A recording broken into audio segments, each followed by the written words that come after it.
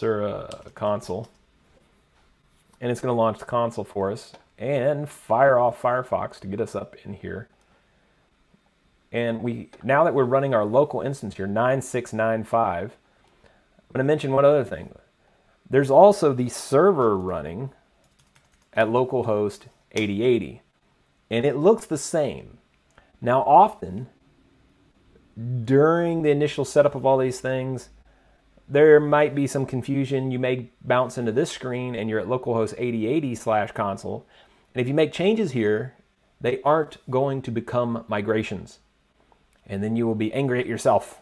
I don't have migrations. What dad burn it? I made the changes in localhost 8080 instead of the Hasura console launched instantiated console, right? Which is over at 9695.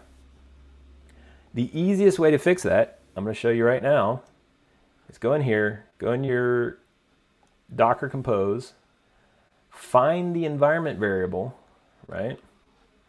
That says enable console and set this to false. Okay. Now let's get over here and we're going to kill this. Control C and then Control C again. It shuts down everything and then we are going to Docker compose up again. Now relaunch it with those new environment variable settings. And as soon as that looks like it's good, and it looks like it, so we'll bounce over here. Now remember, in Visual Studio Code, I'm still running that console that's pointed at localhost 8080, but is instantiated from the local executing terminal with the command Hasura console. So it's at localhost 9695. That's the locally instantiated one. I'm going to refresh that. And see, we can still connect to it with our console, but it's not the one that the server itself is running.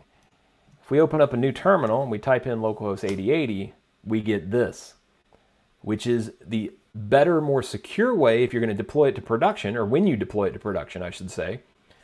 And it also helps in local dev like this because then you don't have this thing floating around that you accidentally might log into and then all of a sudden make changes and then you're like, ah, I don't have the migration. So this is the easiest way to prevent yourself from doing that. Just go ahead and disable the console.